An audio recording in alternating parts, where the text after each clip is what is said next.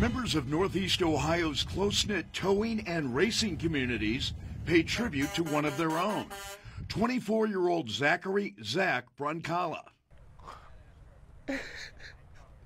That kid's amazing.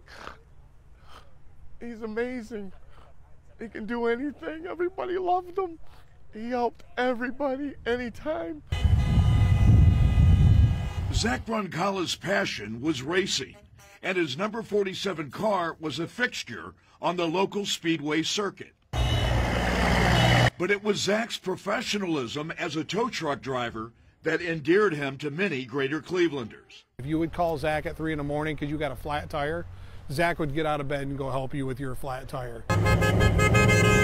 Zac Brunkala, a father of two, was in his tow truck on Route 2 in Willoughby last Thursday afternoon, unaware that there was an accident up ahead. The smashed cars were on the freeway and they left them there and walked on the berm and all the chaos came and cars were backing up and skidding and it was a bad pileup.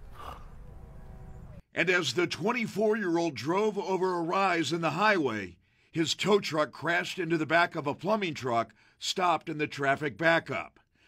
Zac's truck then crashed into another vehicle. He was pulled from the wreckage and was later pronounced dead at Lake West Hospital. I was calling him, he's not answering. I'm driving down the freeway and I looked over and seen his truck smashed.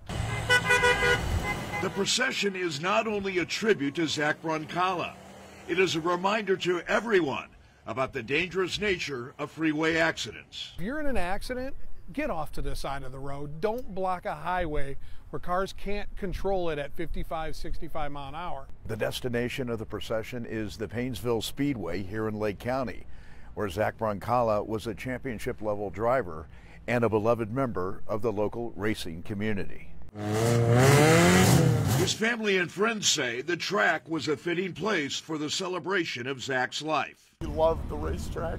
We've been going there since he's been in his carrier. He couldn't even walk yet.